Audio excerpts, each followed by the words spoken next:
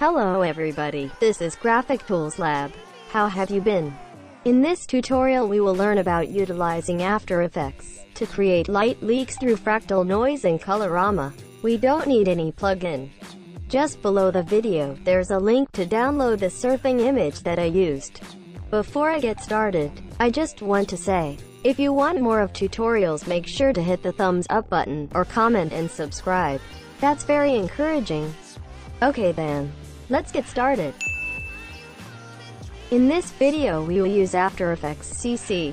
Follow my steps slowly. I will proceed with the workspace in default mode. Click New Composition. Make the width 1920 and height 1080 pixels and duration for 20 seconds. Then click OK. First, let's open image. Press Ctrl I.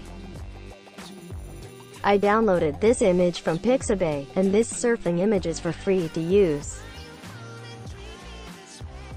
Drag it to composition. Let's make solid layer by right-clicking. Hit OK. Come over here to the effects and preset. Let's type in fractal noise. Drag it to layer. Choose Dynamic Progressive type. The noise type is spline. The contrast is 500. The brightness is minus 50.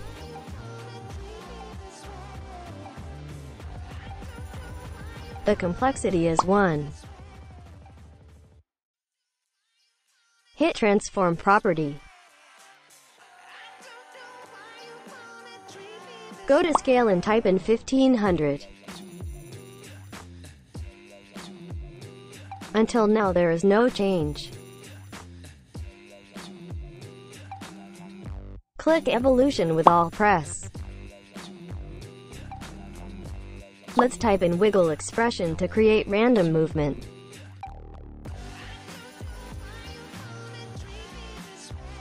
Go to Effects and Presets. Search for Colorama. Drag it to Layer.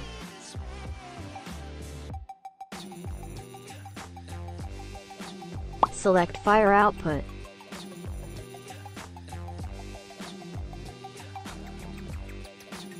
Go to Blending Mode, Lighten.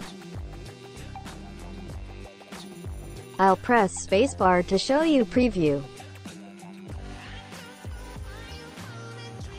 You can also apply screen mode.